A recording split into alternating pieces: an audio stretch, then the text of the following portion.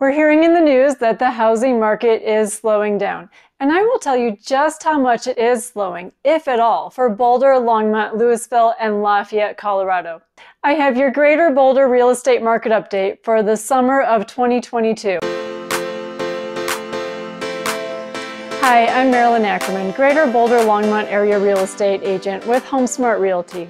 For those of you interested in Boulder homes, Longmont homes, Louisville, Lafayette, or Lyons, Colorado homes, welcome or welcome back to my channel, Greater Boulder Longmont, Colorado Homes. There's a lot of change happening across the country. Mortgage rates are tipping over 6% in the last couple of weeks. Gas prices are up, inflation is at 8%, and the stock market is really tanking. So how is Boulder County real estate faring during all of this? Well, we still have a shortage of housing in Boulder County. Demand continues to outpace supply. Homes are still selling quickly and above asking price. For all of the Denver and Boulder area, we have 2% more inventory to start this summer than we did last year, but it's not hurting prices. We have 11% more new listings, but that's not hurting prices. The median sold home price is up 14% since 12 months ago. Now let's get to the percentage above the listing prices that homes are selling for. You know that no other agent or news agency gives the update I'm about to share. This is because I researched it myself. So if you find a lot of value in this video, please give it a like. So here it is. Homes in Boulder, Colorado, Longmont, Louisville, and Lafayette, Colorado, listed since May 1st, 2022, priced up to $500,000, sold for 104% of their list price, with an average days to contract of 23 days.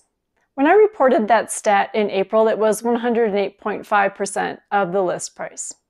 Homes listed between $500,000 and $600,000 sold for an average of 102% of their list price, with an average days until going under contract at 19. Homes listed between $600,000 and $800,000 sold for an average of 104% of their list price, with the days before going under contract at 21. Homes listed between $800,000 and $1 million sold for an average of 103% of their list price, with an average of 27 days until going under contract. Homes listed between $1 million and $1.5 million are the most bid up sector, selling for an average of 107% of their list price, with an average of 22 days until going under contract.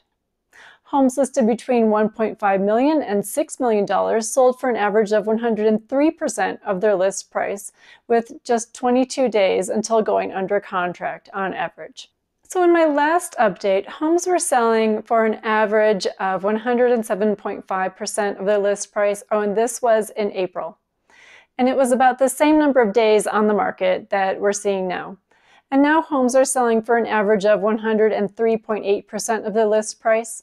Well, you could call it a slowdown. That could make headlines, but still our market is increasing in value and homes continue to be in high demand and selling fast.